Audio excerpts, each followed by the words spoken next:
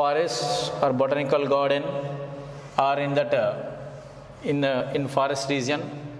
So we observe that different type of that plants. But we cannot identify that total structure of the plant and the characters of the plant. But it is only possible by the taxonomy. Okay?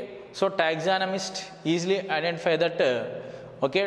So characters of the plant and distribution of the plant. Okay? It is possible only by that taxonomy purpose. After then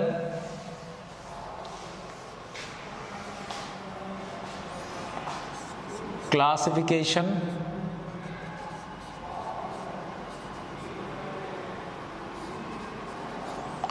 And uh, types of systems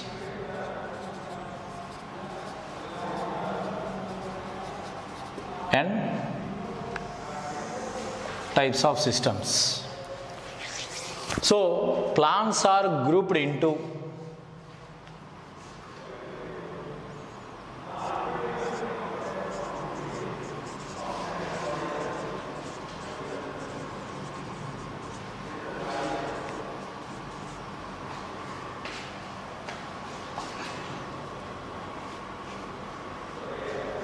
plants are grouped based on structural similarities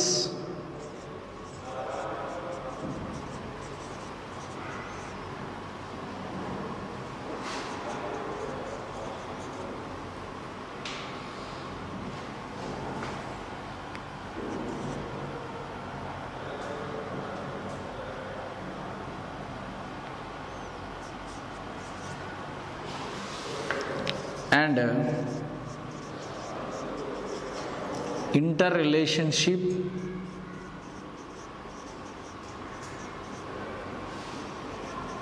Among them. Among them. Plants are grouped based on that structural similarities and interrelationships among them. So that is known as the classification. So first one at the time of starting in ancient times in olden days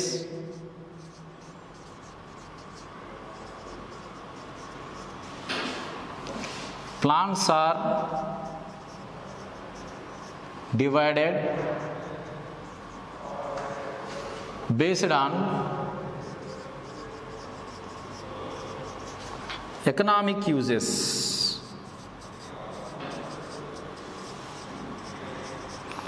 So it means grains, means cereals, cereal plants.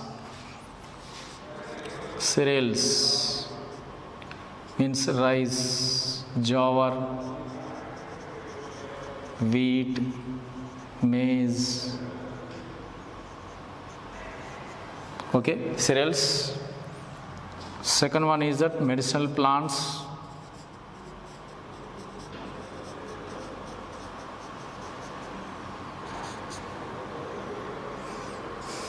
fiber yielding plants.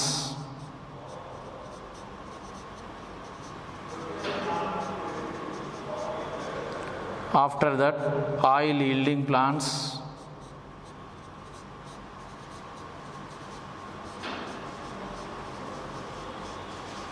Fiber yielding plants and oil yielding plants. Okay? Depend upon that economical uses for the first time plants are divided so cereals, rice, jowar, wheat, maize, medicinal plants, fiber yielding plants and oil yielding plants.